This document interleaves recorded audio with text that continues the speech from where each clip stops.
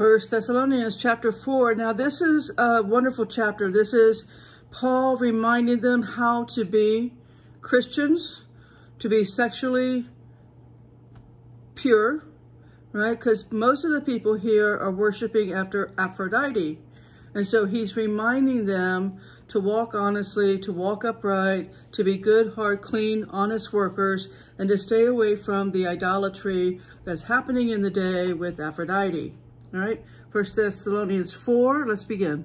Furthermore, then we beseech you, brethren, exhort you by Lord Jesus, that as you have received of us how you ought walk, and to please God, so you would abound more and more. For we know what commandments we gave you by the Lord Jesus.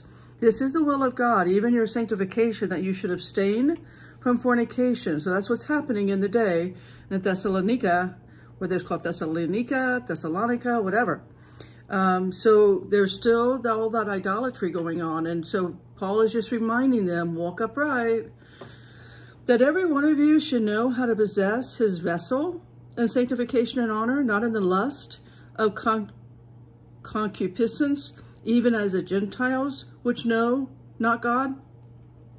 That no man go beyond and defraud his brother in any matter, because that the Lord is the avenger of all such, as we also have forewarned you and testify, for God has not called us into uncleanness, but into holiness. So he's just reminding them, you know, don't, don't go back to your ways. Don't, you know, uh, curve to, uh, I should say bow to peer pressure. He therefore that despised, despise not man but God, who hath also given unto us his Holy Spirit. But as touching brotherly love, you need not that I write unto you, for ye yourselves are taught of God to love one another. And indeed, you do it toward all the brethren which are in all Macedonia. But we beseech you, brethren, that ye increase more and more, and that you study to be quiet, and to do your own business, and to work with your own hands, as we commanded you. Walk honestly toward them that are without, that ye may have lack of nothing. But I would not have you be ignorant, brethren, concerning them which are asleep, that ye sorrow not, even as others which have no hope. For if we believe that Jesus died and rose again, even so them also which sleep in Jesus will God bring with him. For this we say unto you by the word of the Lord, that we which are alive and remain unto the coming of the Lord shall not prevent them which are asleep. For the Lord himself shall descend from heaven with a shout, with the voice of an archangel, and with the trump of God, and the dead in Christ shall rise first.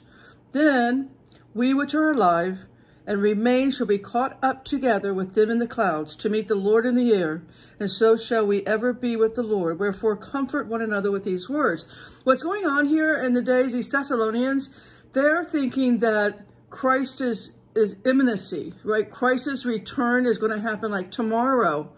And so as they're moving through the weeks and Christ hasn't returned yet, they're thinking that their, their, their loved ones, their family members and friends that have passed away are not going to get to be with Christ.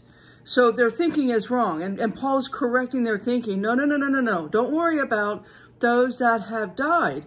Um, all of us, it doesn't matter what state you're in. You don't have to be physically alive to be in the eternal kingdom with the glorified body, with your immortal incorruptible body forever and ever and ever and ever for eternity with Christ. You can, you can be dead also. It's okay if your physical body is dead. It is your soul that is going to be with Christ. So, so that's what he's correcting here with this part of the, with this part of the, um, this chapter, this part of the letter is what I was trying to say. This part of the letter is addressing that concern specifically. And all God's people said, stay in the word.